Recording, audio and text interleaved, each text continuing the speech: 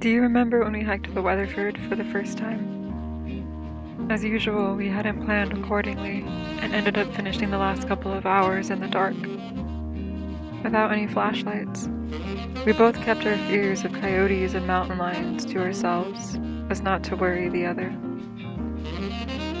But earlier, when it was still daylight, we had taken a break in a meadow a bit off the trail.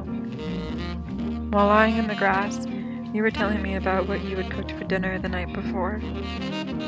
The sun was so warm and soft. One of those mid September days, the last of summer. I fell asleep to the sound of your voice.